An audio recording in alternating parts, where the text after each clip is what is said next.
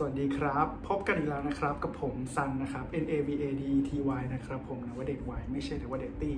ก็จริงๆ ก่อนหน้านี้คลิปที่แล้วบอกว่าต่อไปอาจจะเป็น Garden Party หรือจะเป็น Van Cleef and Arpels แต่ว่าสรุปแล้ว มีความแทรกนิดนึงเพราะว่าได้น้องถุงแดงมาอีกแล้วนะครับ ก็สำหรับคนที่ดูชื่อของคลิปก็น่าจะรู้แล้วว่าวันนี้ก็จะมา unboxing กันอีกแล้ว ก็เหมือนเดิมเนาะต้องเล่าก่อน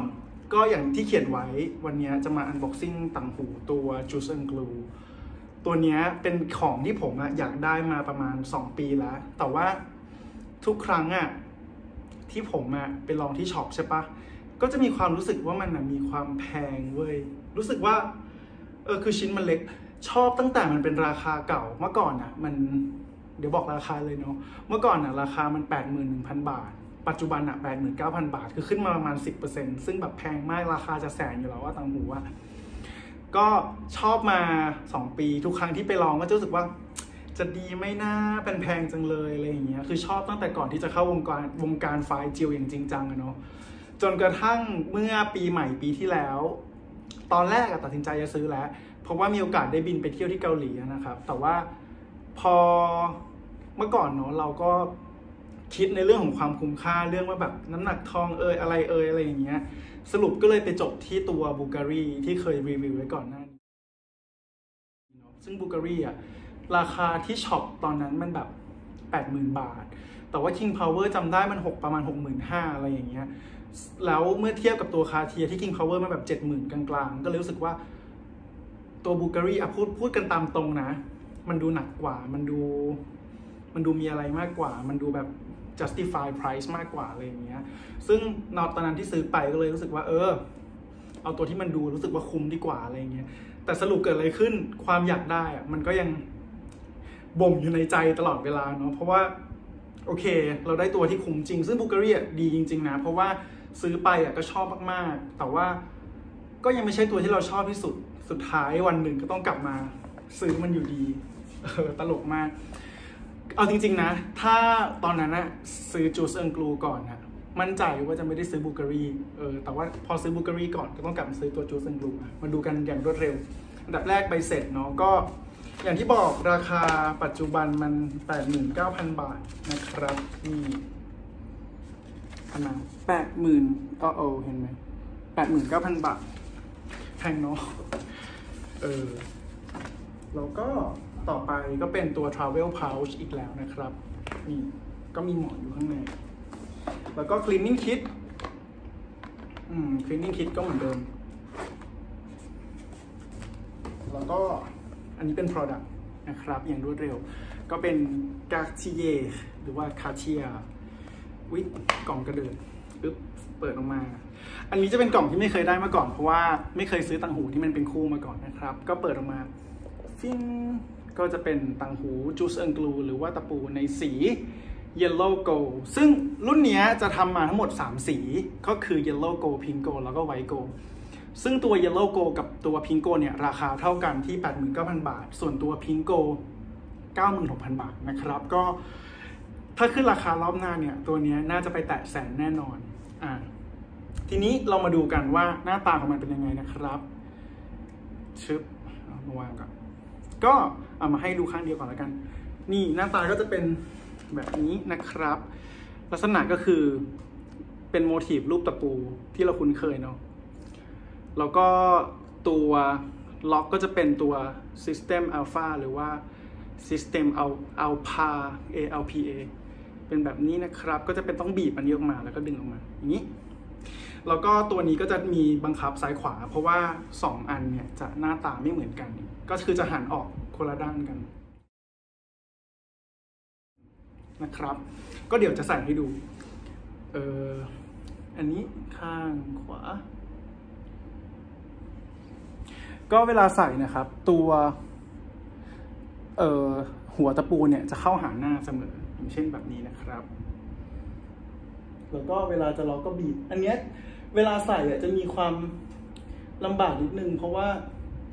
ตรงตะปูที่มันอ้อมไปข้างหลังที่มันหลอกเนี่ยครับ มันจะมีความแบบขวางมือนิดนึงเพราะฉะนั้นเวลาใส่แล้วอะเนี่ย ถ้าเรามองจากข้างหน้า มันเหมือนจะเป็นตะปูร้อยเข้าไปในหูเลย แต่ความจริงอะตรงนี้มันจะมีแบบระยะห่างจากหูนิดนึง ถ้าสังเกตดีๆนะครับ แล้วก็อีกข้างนึงซึ่งจริงๆรายละเอียดมันง่ายมาก มันลักษณะคล้ายๆแหวนเลยแค่มันเป็นตะปู ตัวนี้ diameter วัดจากเว็บไซต์ 12.65 เอ้ย sorry 12.75 มิลนะครับ ก็ค่อนข้างเป็นตัวที่ใหญ่ระดับหนึ่ง แต่ถ้าเป็น Juste un Clou มันจะมีตัวที่ใหญ่กว่านี้แบบใหญ่เลยอะ่ะ อันนั้นก็จะมีเพชรด้วย อันนี้ก็คือใส่ครบสองข้างนะครับผม ถ้ามองดูจากไกลๆ ก็จะเห็นว่ามันมีความเป็นตะปู ซึ่งจริง ๆ แล้วอะ มันก็จะแค่ mimic shape ของในส่วนของแหวนออกมาเลยนะครับ อ่า ทีนี้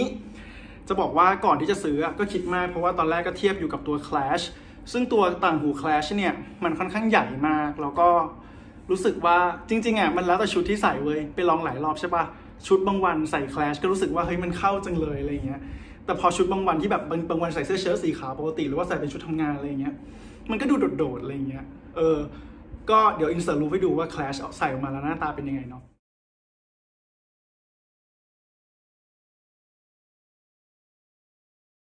ตัวนี้รู้สึกว่ามัน against ราคามาตลอด เพราะรู้สึกว่าอย่างที่เห็นนะมันอันเล็กอะแล้วมันก็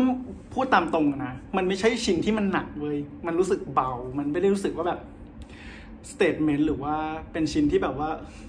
ดูแข็งแรงอะอย่างอย่างแหวนนะยอมนะแหวนมันมีน้ำหนักนะ ถ้าลองไปไปจับของจริงอะมันจับแล้วมันรู้สึกหนัก เพราะจริงอะเคยชั่งดูแหวนมาประมาณ 10 กรัมอะก็หนักเลยอะอะไรอย่างเงี้ย แต่ว่าตัวนี้มันเบามาก อันนี้ไม่เคยชั่งเหมือนกัน ก็รู้สึกว่าที่ผ่านมามันแพงตลอดแล้วก็พยายามที่จะแบบไม่ลองมันมาตลอดอะไรอย่างเงี้ยจนกระทั่งมีวันมีอยู่ช่วงหนึ่งประมาณหลังจากที่เขาขึ้นราคาวันแรกอะไอคอลเลกชันนี้ที่เป็นเพชรอะมันออกมาก็เป็นฟูก็เป็นฟูลเพฟก็คือเป็นเพชรทั้งหมดเลยอะจะขายประมาณแสนแสนเก้าก็รู้สึกว่าเอ้ยตอนนั้นนะบาเพชรมาก็เลยไปขอเขาลองใช่ปะสรุปไม่สวย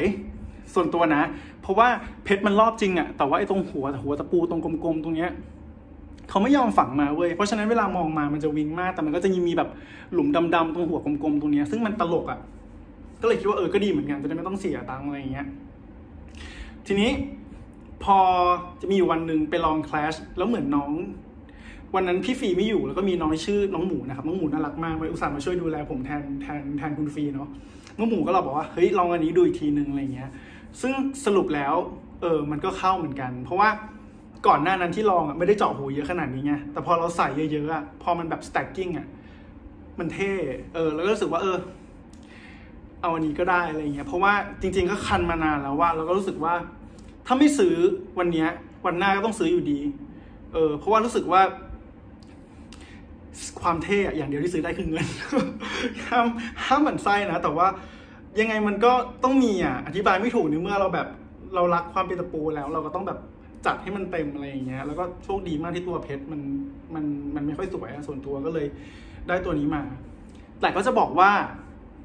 ตัวเนี้ยที่ต่างประเทศอะที่อเมริกาเขาออกเป็นตัว single single earring มาเว้ยซึ่งตัว single earring อะราคาในเว็บอะตัว listed price มันราคาเท่ากับตัว Love Single Earring เลยก็คือ 850 เหรียญ ถ้าคูณมา น่าจะประมาณ 26,000 27,000 อะไรประมาณนั้น แต่ว่าถ้า 27,000คูณ2ก็จะประมาณแค่ 60,000 ถูกปะ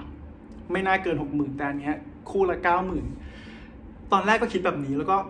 ยังไงดีวะ จะรอตัวนั้นดีไหมอะไรอย่างเงี้ย แต่พอเราคิดดูดีๆแล้วว่าแล้วเรามันพอดีมีมีเป็นผู้หญิงเอเชียเนาะ น่าจะอยู่อเมริกาเขาซื้อมารีวิวตัวนั้นพอดีอะไรอย่างเงี้ย ก็ตระหนักได้ได้ว่าตัวนั้นนะซื้อมาใส่สองอันไม่ได้ เพราะว่า ตัว single earring อะเขาทำออกมาหันแค่ข้างเดียวเว้ยเขาไม่ได้ทำออกมาหันสองข้าง ซึ่งจริงอะCartier เองหรือว่า Richemont เองบริษัทแม่เขาว่า ก็ไม่น่าจะโง่ที่จะทำตัว Product ออกมาเพื่อที่จะโจมตีตัวหลักของเขาถูกปะซึ่งตัว single earring จริง ๆ ดีไหมดีมาก ดีสำหรับใครสำหรับผู้ชายที่อยากใส่แค่ข้างเดียวเออแต่ว่าสำหรับคนที่อยากใส่สองข้างแบบนี้ตัว single earring อะมันไม่ตอบโจทย์นะ เพราะว่าไม่งั้นมันก็จะตลกนิดนึงตรงที่ว่า สองข้างอะตะปูหันข้างเดียวกัน get ปะคือ เนี่ยมันเป็นอย่างเงี้ย สมมติสมมติว่า single earring มันหันหันอย่างเงี้ย มันก็จะมีแค่เวอร์ชันเดียวเว้ย มันจะไม่ได้มีแบบเป็นเวอร์ชันหันหันออกอย่างเงี้ยสองข้าง เออ แล้วก็ตัว single earring อะเขาไม่ได้ใช้เป็น system เอออัลฟาเหมือนตัวนี้ถูกปะเขาใช้เป็นคล้ายๆ ไม่ใช่คล้ายสิ ลักษณะเดียวกับตัว Love Single Earring แบบนี้ก็คือเนี้ยขึ้นมาแล้วก็ใส่เข้าไป ทีเนี้ยสิ่งที่เห็นภาพในเว็บไซต์เอ่ยหรือว่าในรีวิวต่างๆ เอ่ยเนี่ยปัญหาที่เกิดขึ้นน่ะที่รู้สึกว่าสังเกตได้ก็คือ ตัวหัวตะปูอะมันจะหนักกว่าตัวก้านตะปูโดยรวมเสมอ เพราะฉะนั้นเวลาใส่มาหัวตะปูมันจะตกอยู่อย่างเงี้ยคือมันก็จะไม่ได้มองเห็นว่ามันเป็นตะปูเว้ยเดี๋ยวจะลองอินเสิร์ตรูปให้ดูว่ามันหน้าตาเป็นยังไง เพราะว่าตัวสเปซอะมันมีอุ้ยตัวตัวตัวสเปซในการที่มันจะ move ได้อะ มันคือจากเนี้ยถึงเนี้ยเพราะฉะนั้นพอหัวมันหนักปุ๊บมันก็จะถ่วงลงแอดซูมว่าตอนนี้ไม่เป็นหัวตะปูใช่ไหมมันก็จะอยู่อย่างนี้ตลอดเวลา ซึ่งถ้าชอบก็โอเคนะ แต่ว่า ส่วนตัวก็รู้สึกว่ามันก็ไม่ได้โชว์ความเป็นตะปูอะไรขนาดนั้น แต่ถ้าใส่ข้างเดียวอะ่ะ มันก็เท่ดีก็คือเหมาะผู้ชายเนาะใส่ตะปูข้างหนึ่งใส่อันนี้ข้างหนึ่งแล้วว่าโคตรเท่อะไรอย่างเงี้ย แต่ว่า position ที่ดีที่สุดอะส่วนตัวที่คิดว่าใส่ตัว single earring แล้วจะดูดีอะก็คือตรง helix ก็เดี๋ยวอินเสิร์ตรูปให้ดูอีกแล้ว ว่าตอนแรกที่เห็นรูปเนี้ยกรีดมาก แล้วก็วันๆเนี่ยนั่งหาข้อมูลในการเจาะตัว helix เพื่อที่จะรอตัวนี้มา พอได้ยินว่า ใกล้จะมาแล้วแหละ ใกล้ใกล้ใกล้ที่จะเข้าประเทศไทยเรียบร้อยแล้ว ไม่ช่วงคริสต์มาสก็ต้นปีหน้าอะไรแบบเนี้ยเออสรุปก็เลยคิดว่าอะซื้อตัวนี้แล้วกัน เพราะว่าออกตัวก่อนว่าเราเป็นคนที่ใส่ต้องหูสองข้าง แล้วก็เจาะหูเยอะมากอะไรเงี้ยเพราะฉะนั้นอะ มันก็ต้องใส่แบบนี้แหละ เพราะว่าถ้าสมมติใส่ข้างเดียวมันก็จะรู้สึกโดดอะเอออันนี้ใส่เข้าไปก่อนพอดีแกะออกมาเพื่อที่จะยกตัวอย่างให้เทียบกับตัว single earring ให้ดูเฉยๆ อ่า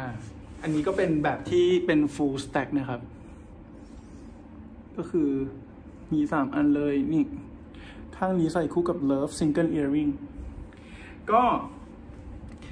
หลังจากซื้อก็รู้สึกดี รู้สึกว่าอะจบสักทีหนึ่งอีโปรเจกต์ตัวหัวตะปูที่อยากได้มานานแสนนานเนาะเออยังไงก็ประมาณนี้เพราะว่ามันก็ไม่ได้มีรายละเอียดอะไรมากมาย ก็หลักๆ เลยคืออยากอธิบาย เปรียบเทียบให้ดูตัวซิงเกิลมากกว่าอะไรอย่างเงี้ยยังไงวันนี้ก็มาแบบรีบๆเนาะก็ขอตัวก่อนนะครับ สวัสดีครับ เดี๋ยวแวนคลีฟจะรีบทำวิดีโอให้เร็วที่สุดเนาะ ยังไงก็ขอบคุณทุกคนนะครับที่ติดตามมีอะไรติชมก็บอกได้เสมอนะครับ ขอบคุณมากครับ